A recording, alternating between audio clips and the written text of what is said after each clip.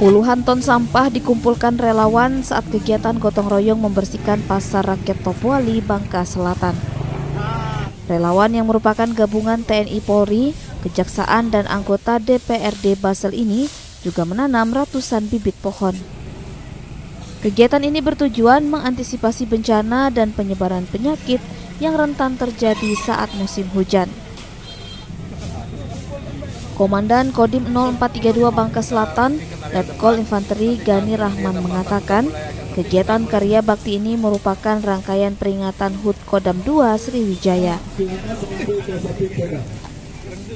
Melaksanakan uh, pembersihan pasar dalam rangka karya bakti, nah, di mana kegiatan ini dilaksanakan uh, untuk ya situasi pasar kita ini biar bersih, biar apa lingkungannya lingkungannya Hari ini kita pasar, uh, kita sampai dengan selesai sampai dengan tuntas, tapi pagi ini kita bersihkan area depan. Nanti saat kegiatan pasar sudah mulai akan sepi, kita mulai membersihkan bagian dalam termasuk saluran-saluran air yang ada di pembuangan ini.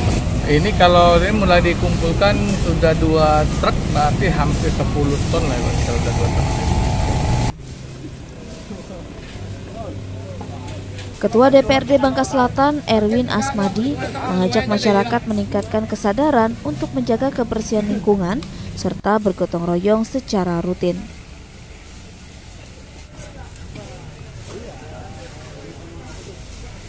Uh, langkah yang dilakukan untuk kegiatan bersih-bersih ini uh, sangat uh, kita dukung agar semua elemen masyarakat yang ada di Kabupaten Bangka Selatan, Tobuali khususnya, budaya untuk bergotong royong ini uh, tolong untuk dipelihara dan dijalankan di masing-masing lingkungan RT, RW, kelurahan, kecamatan yang ada di Kabupaten Bangka Selatan.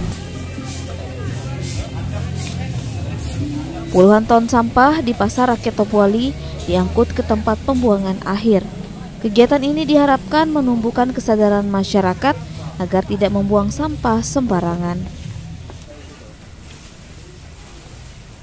Musdianto melaporkan dari Bangka Selatan.